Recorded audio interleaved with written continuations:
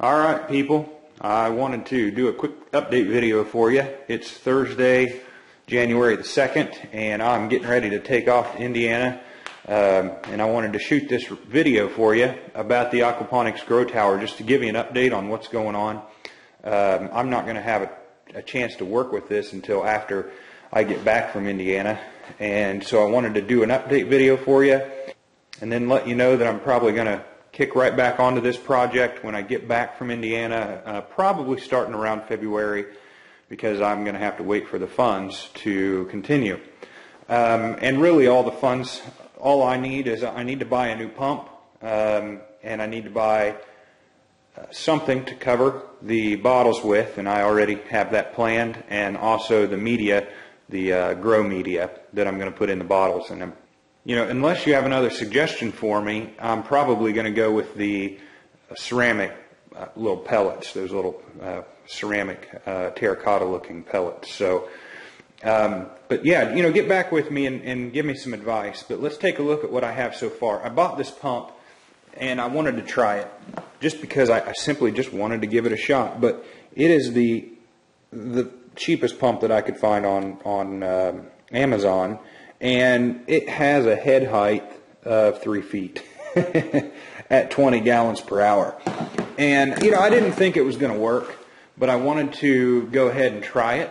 And since it doesn't work for this, then that's perfectly fine. Uh, I'm just going to get a bigger pump and I'll use that pump for something else and do more of a horizontal type of a garden. Uh, I have an idea for that as well using an old pallet. So um, here's what I have.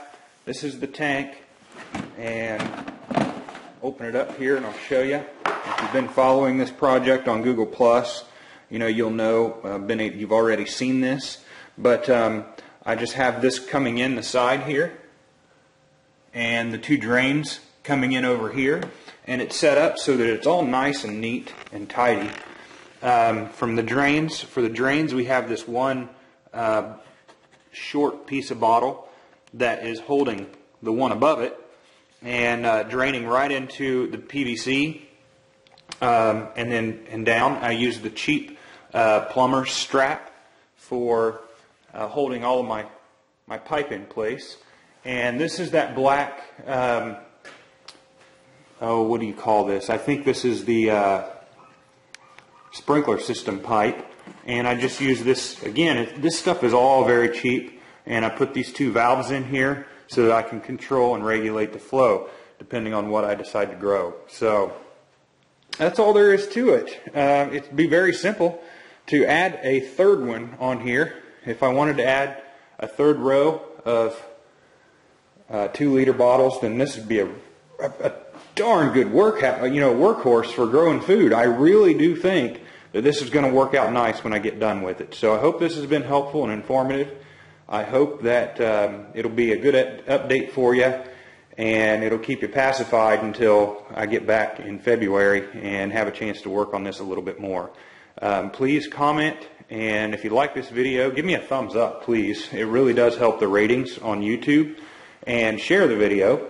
But if you have advice for me, that's really what I want to hear. So what should I use for my growing medium? And do you have advice on what style of pump to use? Um, and is my uh, my container water reservoir large enough? So if it's not large enough, then then I'll just grow less food with it. But uh, either way, we'll try to run this as a hydroponics operation at first, and we'll give it a shot. So uh, more next time. God bless you all. Thank you for watching.